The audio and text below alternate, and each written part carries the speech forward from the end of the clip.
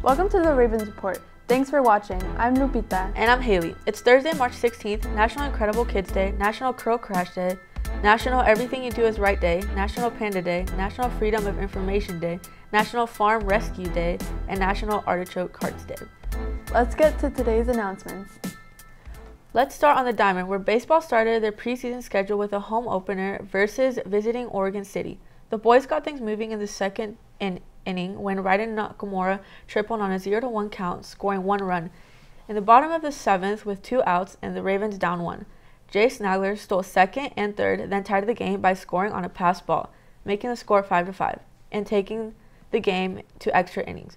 In the top of the eighth, Mason, Mason Scott walked out but struck to struck out the side to get the Ravens to the bottom half of the inning. When Logan Nakamura singled on a 2 to 1 count, scoring two runs in a walk-off win. Colton Chastian led Ridgeview Ravens with two hits and four at-bats. Matthew Mathis doubled in the bottom of the eighth and scored the winning run. Great season opener for the Ravens.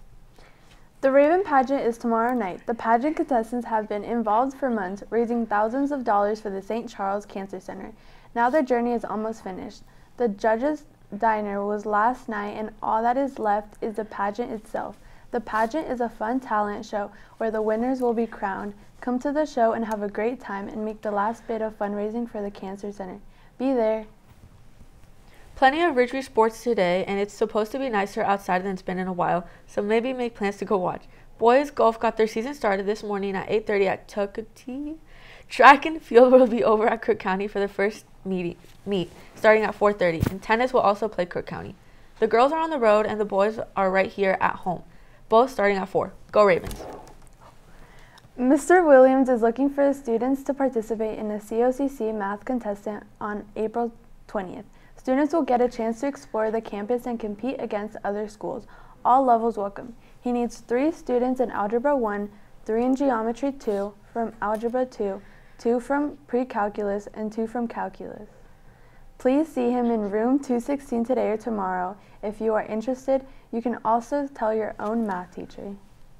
The theater department is having a murder mystery dinner. They need actors for this and will be having auditions starting on Monday, March 20th at 3 to 5 in the black box. See Mr. Capson for details. 10th graders, if you haven't checked your email to opt in or out of the pre-ACT, you should do so now. The test is on March 23rd and all students are signed up unless they opt out. The test is a great indicator of your future success on the ACT.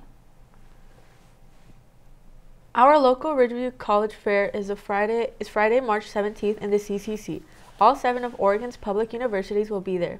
If you would like to attend the college fair, you will need to sign up for the on the College and Career Center Canvas page under upcoming events or in person in the CCC. You will then receive a calendar invite you can show to your teacher. Attendance will be taken. And that's our show for today. As always, check out our YouTube page at youtube.com slash Ravens. I'm Hailey. And I'm Lupita. Have an epic day, stay safe, and stay classy. That's good.